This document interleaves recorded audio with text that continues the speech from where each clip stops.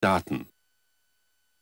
Der Abzug der US-Truppen soll im Prinzip Ende 2011 abgeschlossen sein. Und es ist damit zu rechnen, dass Mitarbeiter von Sicherheitsfirmen einen Teil der Soldaten ersetzen werden. Und dadurch wird nicht nur das Jahreseinkommen der Firmen, sondern natürlich auch die Zahl ihrer Verluste steigen. Die Verluste sind hoch, aber zu den Vorteilen der Beschäftigung privater Firmen gehört, dass die Medien darüber sehr viel weniger berichten als über den Tod amerikanischer oder französischer Soldaten. Als in Afghanistan im August 2008 an einem Tag zehn französische Soldaten ums Leben kamen, rief das in Frankreich tiefe Bestürzung hervor. Die Öffentlichkeit in den demokratischen Staaten mag es nicht, wenn ihre jungen Soldaten in weit entfernten Ländern eingesetzt werden, wo sie aus nicht immer leicht nachzuvollziehenden Gründen getötet werden können.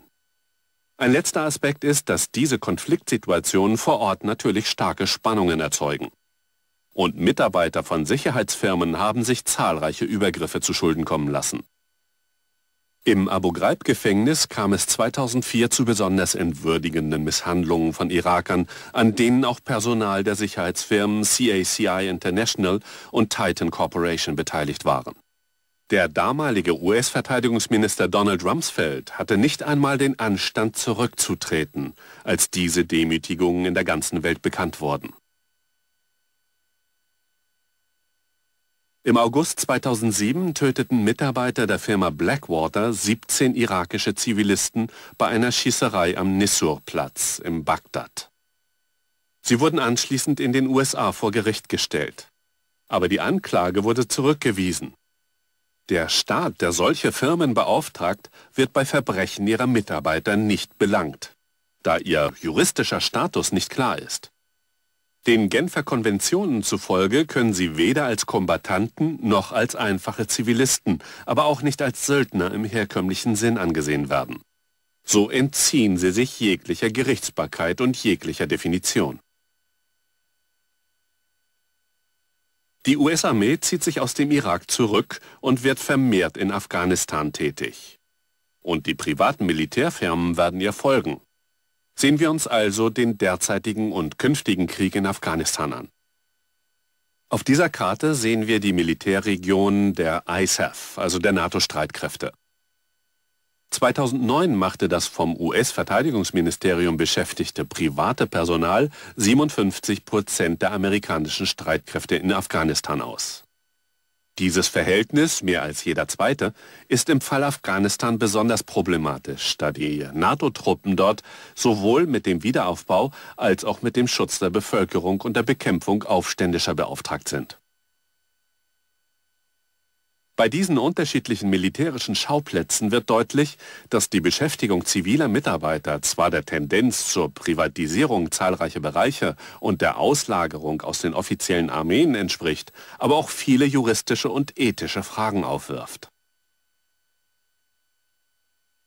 Um diese Fragen zu beantworten, unterzeichneten Ende 2008 17 Staaten das sogenannte Montreux-Dokument mit Grundsätzen zur Beschäftigung von Mitarbeitern privater Sicherheitsfirmen.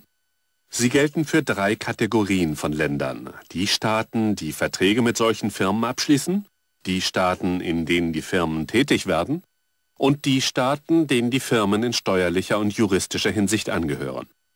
Aus Südafrika stammen besonders viele Mitarbeiter privater Militärfirmen. Das Land hat als erstes ein Anti-Söldnergesetz verabschiedet und versucht es seit 2006 zu verschärfen und dem neuen Profil der Sicherheits- und Militärfirmen anzupassen. Und in den USA möchte die Regierung die Koordination zwischen der Armee und den Vertragsfirmen verbessern. Der Uniform Code of Military Justice wurde 2008 dahingehend geändert, dass die Firmen völlig der amerikanischen Kommandostruktur unterstellt werden sollen. Wird es aber gelingen, diese Regeln durchzusetzen? Denn die Nachfrage ist groß und es gibt zahlreiche instabile Regionen unterschiedlichster Natur. So geht zum Beispiel die Zahl der von den Staaten für Friedensmissionen zur Verfügung gestellten Blauhelmsoldaten zurück. Und die privaten Firmen sind effizienter, nicht von der schwerfälligen Struktur der Vereinten Nationen abhängig und zudem noch kostengünstiger. So soll ihre Beschäftigung fünfmal so billig sein wie der Einsatz von UN-Truppen. Die Vereinten Nationen sind dagegen, aber die Firmen betreiben intensive Lobbyarbeit, um neue Märkte, vor allem bei Friedensmissionen, zu erschließen. Es handelt sich dabei also um eine sehr komplexe Angelegenheit, die direkt die staatliche Souveränität betrifft.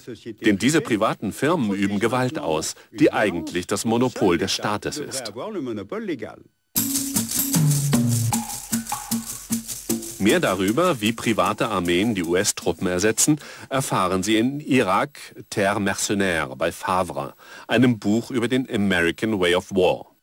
Genauere Angaben finden Sie unter arte.tv.